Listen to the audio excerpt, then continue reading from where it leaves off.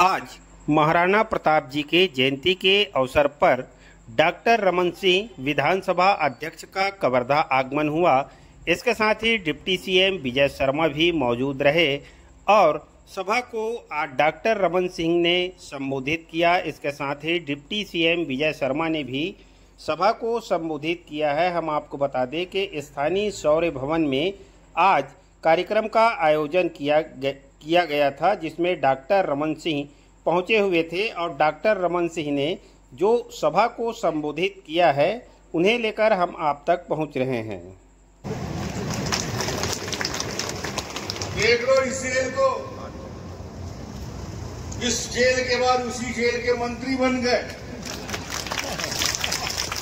जो जेल जाता है, कृष्ण भगवान की तरह उसको वरदान मिल जाता है और संघर्ष का वरदान मिला। इसने जो संघर्ष किया, जिस हिम्मत और हौसला के साथ बिना टिके लड़ता रहा, जिसे असंभव कहते हैं, उसको संभव करके दिखाने वाला व्यक्ति का नाम है विजय शर्मा। उनको मैं स्वागत कर रहा हूँ, क्योंकि सार्वजनिक मंच में मुझे कम अवसर मिलता है इस प्रकार की बात करने का। मेरी जवाबदारी अब बदल गई क्रिकेट में बैटिंग करता है, बॉलिंग करता है और तीसरा एम्पायर होता है।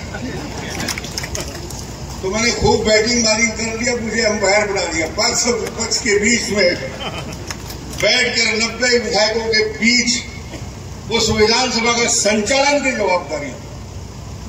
इसमें भी मज़ा है। काम कोई छोटा नहीं होता, काम कोई बड़ा नहीं होता। दायित्व का निर्वहन आप कैसे करते हो, इसका महत्व जीवन में जो भी मिले, जैसा भी मिले, उस दायित्व का शत प्रतिशत ईमानदारी के साथ, निष्ठा के साथ, चालीस साल के राजनीतिक जीवन में पाँच साल में ईडी और सीडी शुरू हो जाता है। कैसे शुरू हो जाते मैं चालीस साल में आज तक कोई दाग नहीं लगा पाया, ऐसे राजनीतिक जीवन महाराणा प्रताप के आशीर्वाद से हम सब लोग इस रास्ते पे चल रहे हैं और आज आपने बुलाया, बहुत अच्छे से सम्मानित किया सभी साथियों को और बहुत बड़ी संख्या में हमारी बहनें आई हैं। उनका मैं विशेष रूप से धन्यवाद देना चाहूँगा आपकी उपस्थिति से। निश्चित रूप से समाज को बल मिलता है, समाज आगे बढ़ता है और हम सब मिलके न केवल राजपूत समाज के लिए बल्कि कौरवा और छत्तीसगढ़ के विकास के लिए अपनी भागीदारी निभाएँ। बहुत बहुत धन्यवाद। और मैं सिर्फ़ दस मिनट का समय के लिए आपसे अनुरोध करूँगा, सिर्फ़ दस मिनट के समय के लिए। और ये बताना चाहूँगा कि सूत्रधार है, और आज हमने इतना बड़ा आयोजन किया है।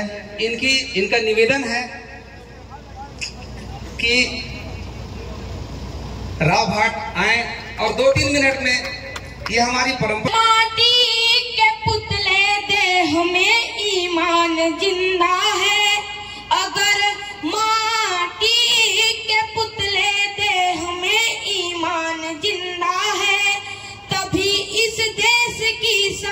समृद्धि का अरमान ज़िंदा है, तभी इस देश की समृद्धि का अरमान ज़िंदा है।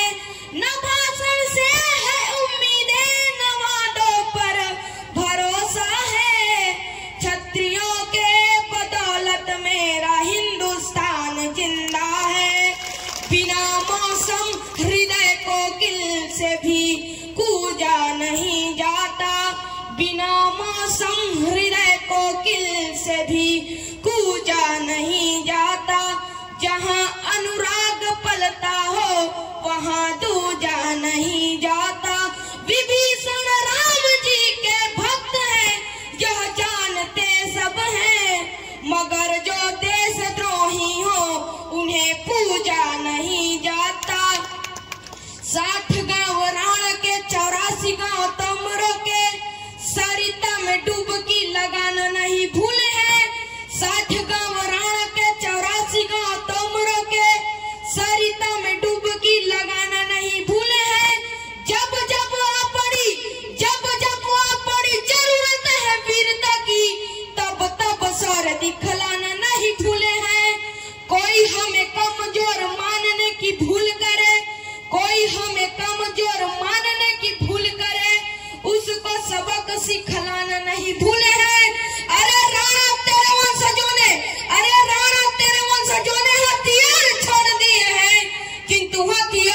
चलाना नहीं भूले हैं।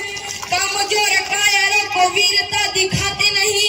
कम ज़ोर कायरों को वीरता दिखाते नहीं। भारती का नाम बदनाम नहीं करते। अरे ऐसा कोई बादशाह, अरे ऐसा कोई बादशाह पैदा ही नहीं हुआ है। जिससे कि हम संग्राम नहीं करते।